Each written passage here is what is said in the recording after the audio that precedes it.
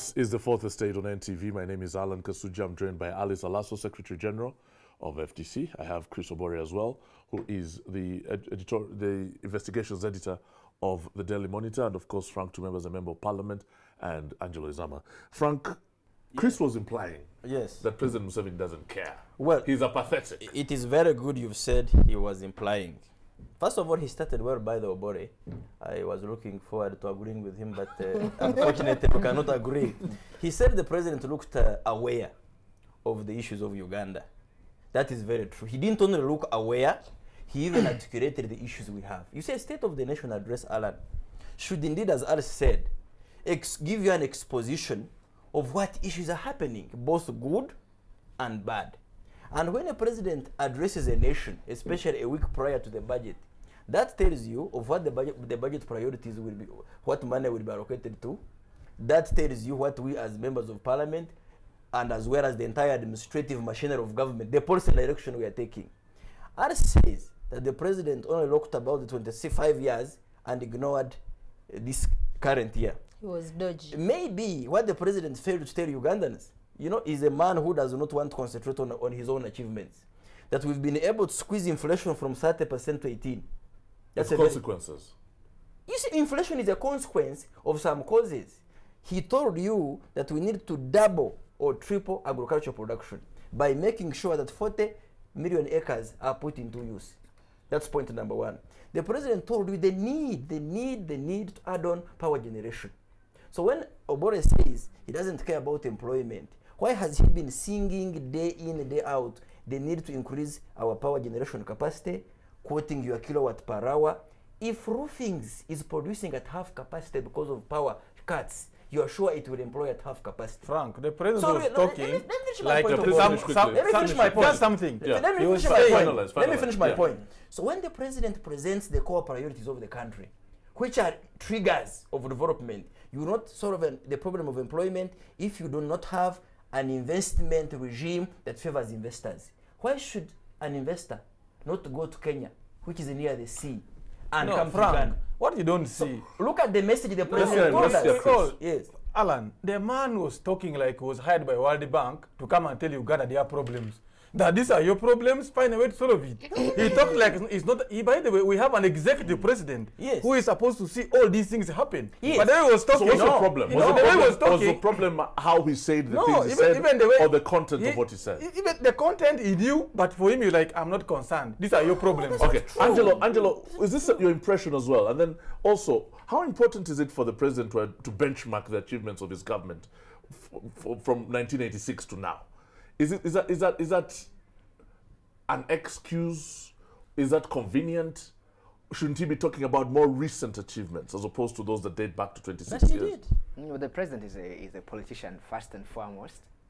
A bad one. You don't you don't expect him to go and show his bad side. Uh, every politician tries to try and show you know you know the positive side because it, you try to build uh, continuous support from from your supporters and win others over. He appeared very confident. In fact, I was scratching my head wondering you know what you know was in his water, but I think. If you think about it, the answer was always very, very simple. yeah, you know, the answer was very, always very simple. Since his uh, re-election, he has been facing crisis after crisis. But he's managed the And, crisis. and in and in terms of um, in terms of you know the that trajectory, this actually is like a holiday season for him. Right. They are the pr- protests have. Uh, But is he apathetic? well, no, I mean we can talk about this this other issue differently, I mean, depending on how you view his. Uh, if you take what he presented as a serious um, litmus of you know what is wrong with the country, or how the country is solving its problems, and then you shouldn't be looking at the state of the nation. But Alan, Right. it- There are other, there, there are other Alan. areas you can look at uh, more, more, more seriously. For, the president, for instance, will never admit that the inflation that uh, we faced, okay, there were uh, external factors that drove it, but then, you know, there was the, the raiding of the, um, Treasury. the, of the treasury. Most economists say that was a major uh, problem. Down At, I think the central bank uh, ran two currencies concurrently, which is really the equivalent of printing money. uh, you know, there was a lot of uh, self-inflicted problems, you know, that uh, unfortunately the opposition has failed to articulate. But that's the other But thing Alan, here, these are- these are- Alice, you see, these are- these are realities, you as the opposition have not offered us an alternative. There's a lot of infighting going on. There's a lot of squabbles going on in the opposition to the extent But, that but at least before you're not coherent. Hold on a second. did you Chris. give opposition a budget as well Chris, hold on a second. give you alternative? Hold on a second. Have you been effective why not? in giving in us an alternative policy to what the government is saying? Did you give Well, opposition a okay, budget? we okay, gave okay, Museveni a budget last Chris, year. hold what on a did he do? The, the, Let's hear you out. the reason President Museveni makes the State of Nation address to us is that he has the executive mandate. And you give him all your country's resources to manage for you. That's because One. you guys are weak no, and no, you're no. incoherent That and you're is one. disorganized and we can't believe you. We offered ourselves. It is said that you didn't vote for us. So you don't blame us for the failures in the executive. Right. But eh, the alternative we offered you was even ourselves. Who can offer you But you see, himself Alan, as an Yeah. Alan, yeah. But my Hold on a thirdly- second. Let's, Okay. let's hear her. But thirdly, I think that um, the reason President Museveni could not talk about anything new in this was the, largely the failures of the last What are those failures you're talking about? I will tell you that for the last 25 years, President Museveni and his government have refused to put money into agriculture. They just consume and consume. But and was s- Wanaba No, no, no, Gagale, no, there was listen, NAADS, I there are will all tell these you- I'll tell you, Alan, supplementary, endless supplementary budgets for State House, and the, the maximum we've been putting into Ministry of Agriculture is less than 5% of our GDP. And you know how many Ugandans continue to earn a living directly through agriculture? Why, me why has the government of Let me come- Uganda? let me come And Why has the government of Uganda? Yes, just a let's. minute. Yes, yes. And when the president comes to say he is tripling agricultural production, when we've just looked at the budget framework paper and the commitment, financial commitment to agriculture is less than 5%, next Let State of Nation address, he will still say the same thing. That's why I said he was behaving like a discussant. Let- he kept saying if, if. The ifs should come from those who are not in power, Alan, not Alan. him who From is you're a in power. farmer, I you're a hear- I farmer hear- I hear- and I you hear earn- I And hear- hopefully you earn I hear- your I hear from. I hear Why also. has the government of Uganda two, failed two, to make two- agriculture two quick work? points, and you allow me to make agriculture my second point. Hmm. It is not. You see, it is not right to be general, and we don't get down to the message the president put out to the nation. When you say there is nothing new he talked about, last year we didn't have any megawatts added onto our grid. We have now added on 150 megawatts, and load shedding has. Why are you laughing? Lo- load shedding substantially. There's nothing to laugh about. last night I had load no shedding, load shedding substantially has subsided. That's for a fact. There are people who are rioting genuinely, of course, uh, along Nkrumah Road, who earn their, their, their daily bread through printing and so on, are no longer rioting. That's an achievement. Secondly, when you talk about agriculture, the, the, the point Alason says is that support for agriculture sector is not about the percentage of appropriation you make in parliament. What is it?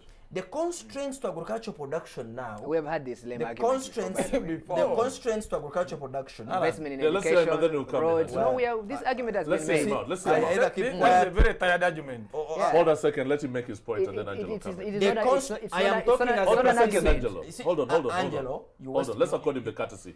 Thank you so much. Yeah. The constraints to agricultural production has nothing to do with seeds. You need to do more technological and physical infrastructure. Okay, but I've had that before. No, please, please, please, please, please, please, please, please. No don't, news. Talk don't about be roads, simplistic. Frank. No, no, don't be simplistic. Mm. There is more produce in the gardens Yeah. than what is in the market. Okay. My So you have people to have no enable, you Hold have to enable, you have to enable the farmers to bring the food to the market. So you need Invest roads. more money mm. in feeder roads. Okay. That's what Obama doesn't know. you do not mm. know. can I tell this? No, please, please, please, stop your ignorance. You Okay. do not know that 15% of our feeder roads, not even tarmac roads, are only passable. Therefore, it means when money is allocated to buying graders, to make sure our community access roads are, are, are, are opened. Yeah. Now, you don't put that percentage of allocation to the agriculture sector. Where do you put it? You put it to works. Works other You get the point. Okay, we need to move on. finish Yeah, but point. you're taking No, too long. You're No, taking yes. too long. Make it, make it. Because it's too much diversion. non-point. Make the point. Make the point. There's too much diversion. It's not a So point. when you are assessing the allocation of money to agriculture sector, Mm. count the other sectors that are complementary to, to agriculture production. all these others. Then the final point here that we need to bring up, it's not that our agricultural production has now gone down. It's because the market and the demand in the region has mm. increased. Okay, Yes, let's- two years That's ago, two years ago, you But- didn't but- but have fair Southern point. Sudan Southern buying Sudan your food. yeah. Okay, Angelo, come in. So And why- you, why- you say why- this is an Yeah, old and tired argument. Very tired. Oh. And, and Oh. why do you say that? It's because it's the, it's been the government's way of padding the books. Okay. Yeah, it's, it's like saying, oh, you know, we have invested in roads and education. A- lot of these things are important for farmers to actually do what they're doing, including get uh, produce to the market. But you've been to the countryside. You know, one of the major things is i i in agricultural, uh, our agri- agri- agricultural history has been our confused land reform uh, process. Of course, if you look at it plainly, the people who are now going to the countryside and grabbing all the land, you know, benefit from the confusion in land tenure systems and in implementation implementation of land uh, So tenure what do you laws. government to do there? But let me Be let me clear. let me Make let me your point explain. Yes. Let me Yeah. explain Yes. that the architecture of agriculture in Uganda rem- it depends on the mobilization of farmers. The opposition makes this point all the time about the death of cooperative uh, uh, movements, but what that really means is that at the very uh, parish level, the institutions that mobilize farmers, that extend help, uh, advice, including um, inputs to farmers that made this country pretty much a breadbasket on, on, on the way to being an agricultural mega power in the 60s. All of those institutions died. They have never been reconstructed. So what we, what we have Can I had help from, you? from, Can I help from, you? from Can the, I help from you, the NRM Can I all help the you time. Quickly? Can I help you? Sister Farmers, farmers can never be organized by government. Strong cooperatives. That's a like- good point, Yes. though. The government should not be expected Of to course. organize the That, that farmers. is, that is actually another non-point. Listen Okay, to why me is that a because, bad point? I will explain that. The point is that- the point is that cooperatives run by government. Yeah. Cooperatives run by government can never hold government Okay, fair enough. Point made. What yeah, are you but, saying? but, Angelo? but, but you then, then, of course, the NRM likes to point to China and other places, you know, right, where the state organizes farmers. No, the, the, the, the, the, the simple point is that this government simply doesn't have the capacity. Let me tell you, Yeah. uh, uh, governments of in any political system can succeed or fail. It doesn't really depend so much on their policies. It depends your on their Okay, so, uh, uh, capacity. on, on, What is your Obore, point? Obore, let Obore weigh in here. What, what, what's your thought on this one? agriculture, like any other sector, is affected by poor governance. And we are happy we are discussing about f- agriculture here. So what should be done? Frank here- done? What With intervention listen, would you want the government to carry No, out? but you see, for him, he Yes. jumps on No, no, anything. no, no, don't be divergent. Please, Listen, please, Frank, Yeah. Frank, Frank allowed you to here speak. He allowed you to was a chairman of Uganda Farmers Federation. Yes. Yes. There was even a scandal during his time for the farmers' house. Ugandan government is paying a loan that was supposed to be given by NADS to Uganda Farmers What's that got to do with farmers? He was the chairman. What's that got to do with agriculture? Governance. Okay, listen governance. to me, listen now, to me, If listen you have a man yes. who failed to mobilize the farmers Yes. when he was a chairman, Okay. now begin is talking about Thank you so much. Thank you so much. Yeah. Can I give you some water? Because, I think your because gas is finished. Farmers groups. Take some water there, farmers groups. Eh? Are, Because they're not listening. farmers groups are private cooperatives. Yeah. So you cannot accuse government of not But- organizing. Why them. did Okay, let's be Alison. Why did you mismanage a, farmers federation? if government organizes them, there will be institutions I am of going to bring you documents here Frank. showing this man mismanaging a boy. farmers Okay, let's hear, let's hear, let's hear And Alice. it's Sorry, allow you. Alice, what are you I saying? donate you some water, please. For, for, for- me, Alan, Yes. I am basically shocked by the very academic nature in which we are approaching the debate in regard to our farmers and agriculture in approaching it? Uganda. I am shocked that the former chairman of the Farmers here. He failed the Federation farmers. can say that the problems with farmers is marketing. How many Is infrastructure. But are you better qualified? Are you, quali- are you better qualified than he is to, No, to, no, to Are you I- a I feeder am road? Are you a feeder road? can, can he enough. listen? You already mentioned Okay. the feeder road. man Now has Listen, some farmers. He's listen to me. Frank. Okay, okay, guys, let's Listen listen to to, me. Alice. Yes. Let's, Yes, she's listen the to me. here. Yes. Because what I'm urging here is mm. that I, I, I don't think you even are in touch with the basic needs of the household. Yes. Over 50 or 60 percent of our homes Yes. are food insecure as we talk now. Yes. So which food Three there for quarters. big? Which food are you talking about selling? Three quarters of Ugandan your mind, farmers. why on Alan, earth just has- a minute. This yeah. one. Three quarters of Ugandan farmers are still using the hand hoe. Yes. They are depending on rain-fed water. They are waiting for it to rain. Can I ask one question? No, no, no, no, no, no, Can I ask wait, one question? Wait, Can I ask before, one question? no, no, no. A brief Alan, question. Alan, We are running no, out of time. I'm have not couple. make taking the question Yeah. until I say No, but this. in Yeah. Teso. In No, the no, no, last- a in. Teso. No, no, no, no, no. I'm not taking the question until I say this. Yes. In the last State of Nation address, And in the budget, there was a commitment to revitalize over five irrigation schemes. Yes. You need to go to them. None of them has Why, what, why, why has that failed? They steal the money. Leadership. It is Wasn't capacity. money, wasn't money allocated mm. under the Ministry And of who's Agriculture? chose- who's Now, in let me charge ask of one the point. Let me ask one point. No. Frank, In you need to Teso, come- you need to in defend Teso, yourself on in this Teso, subject. What did you- April Pool, What did April you do Pool. to Yeah. NAADS Yes. Come money? on, come Yes, on. yes. April April is Fool. grown by No, nine no, no, no. breweries. Okay. Thank you so much. Yes. What's Hold the on, problem hold of the on, Alice. farmers? Hold on, let's What's hear- the let's problem hear of the Frank. farmers? They cannot The open the problem land. of the farmers. no, no, no. The problem Oh, of the The, farmers. prob- the Hey, problem. okay, hold no, on. no, no, I'll end the Alan, show now. No, I'll- The problem I'll of the end the farmers. show now. The problem with problem of April the farmers in the- in Teso. What did you do Let's- to let's- NAADS the- money? in you? Teso Let's listen Okay, not. let's Let's listen listen to to him. Frank. Yeah, first. you Let's listen to need to Frank. listen. Come on, man. You need to listen. as Let me tell you. You remember, I was an advocate in Parliament when uh, Suruma put a tax on that beer from April Pool. It was a disincentive to the April growers. In Teso now, the problem of the farmers are not inputs. The problem with the farmers is Ah, no, storage. no, no, no, no. The problem with the farmers is the market. So when you want the government to increase the allocation to the sector, be more specific on what Frank? intervention. And I think that's a be fair more point. No, no, specific. no, exactly It's not a fair point. Alan, it's not a fair point. Why isn't it a The fair point? The fair point You're worried you is farmers in. Teso. I, I think I can speak Yes. for the farmers in Teso Yes. better than Frank actually. Yeah. The farmer But in know Teso needs to April be Fool. open. No, Yes. he needs to be assisted to open the land. Yes. President Museveni Someone has, said that they just has drink this- they repeatedly said that when he flies, Alan, Hey, just a minute. Ajono. They, they See, spend the the- whole day drinking a journal. That's what President uh, who? President- said. President- They drank Ajono Museveni- after their cattle was taken. Go ahead, go ahead. This is true. President Museveni has repeatedly said that when he flies over Teso, he sees forests, unutilized land. Not mm-hmm. because those guys are lazy, Yes. because the hand hoe cannot open land. Exactly. the And- and- And you. So- need to invest in tractors, So I come in here, invest Alice. in water, No, no, no. I come in invest here, in but- uh, but uh, seeds. What stops me and you?